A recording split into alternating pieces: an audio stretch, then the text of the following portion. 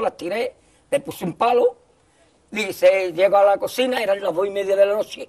Resida, ¿qué la has hecho? Allí ya está, jefe.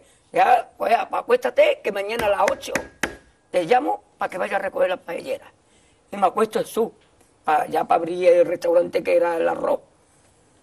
Y me llama el cocinero. Risita, ¿qué? Ve por la paellera. Venga, que las dos de la tarde ya están aquí. Miren, bañador. En las chanclas. Todo despeinado porque no me dio tiempo nada ponerme las chanclas y el bañador. Voy a la playa, había subido la marea.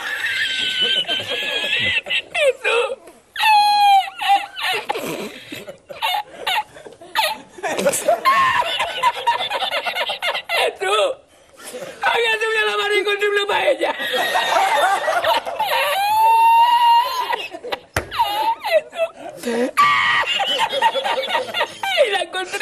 porque estaba, estaba la paellera agarrada entre, entre las piedras de chipiona del faro. Y cuando entro en el restaurante me ve el cocinero con una paellera y a ver la vez de paellera.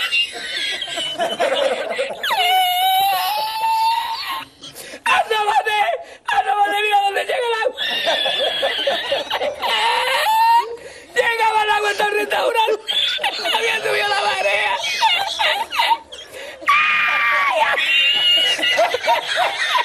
¡Jesús! ¡Ay, qué hacemos! ¿Qué hacemos ahora? Con los dos sacos de arroz. ¡Ay, llama, llama para Sevilla! ¡Llama a Sevilla que traigo paella!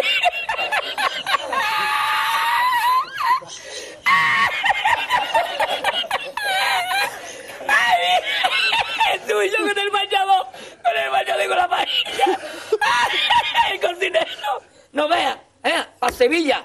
Y, me, me, y al último que cuando ya salió la bien de regla, estamos llorando me, me cobró el tío la... me cobró a 500 metros y ya no fui más. Me fui andando a coger los amarillos hasta hoy. Eso. me va, me va. me mandó por la noche, había bajado más el agua y por la mañana había subido. Cualquiera estaba donde la paellera, ¿sabes? A lo mejor está en el, en el barco ese del petróleo. En el Prestige. En el Petriense.